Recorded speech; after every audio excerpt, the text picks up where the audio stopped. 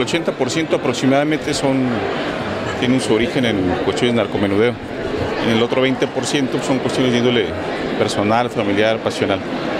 En ese 80% lo hemos repetido, las cuestiones son pues drogadicción, son las pugnas por las esquinas entre grupo rival. ¿no? Eh, no hay ningún otro grupo nuevo, esto lo digo yo, lo dice el general, el grupo de coordinación, nadie ha detectado otro grupo nuevo.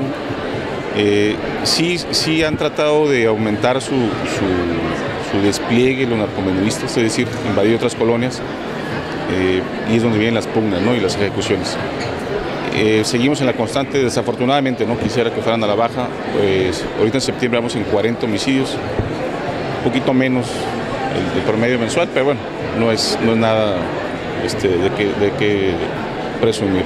Van como 6, 7, debo aclarar que no soy ajeno a que me dicen, hubo cinco, bueno, me llegaron dos, ¿no?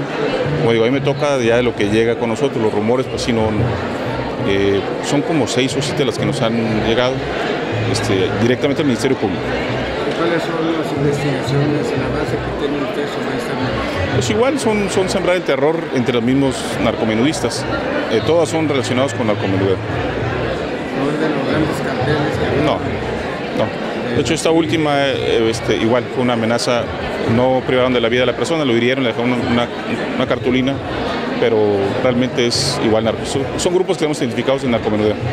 La salud de tu familia está relacionada con la salud de tus mascotas. Por eso cuida de ellas y evita la transmisión de enfermedades como la riqueza. Te recomendamos reforzar en tu hogar las acciones de limpieza.